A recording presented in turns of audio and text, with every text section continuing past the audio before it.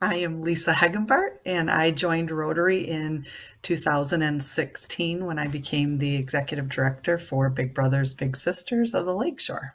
I grew up in Fremont, Michigan. I met my husband, and we have been together about 29 years now. We have two grown daughters, one that is newly married. I also have a stepson and a stepdaughter, and three grandchildren. I personally enjoy traveling, especially locations that include the ocean, and recently got back into running and was able to run my first two Disney races this year. And recently also went skydiving for the first time and looking forward to booking my next trip.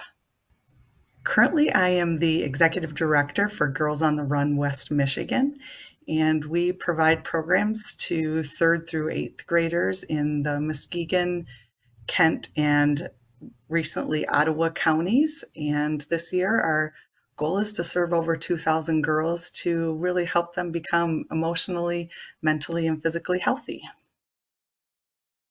Well, when I joined Rotary, I was very quickly approached by Bill Johansson and got involved with the RIM.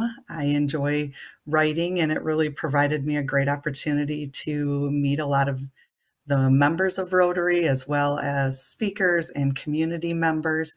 I also got involved with the Grape Escape, managing all of the food vendors, and again, really provided me the opportunity to use that passion of mine to meet new people, build relationships, and really get engaged in the community. Working with members of Rotary to really impact our community continues to hit my heart and passion for really the change that we can make across our community.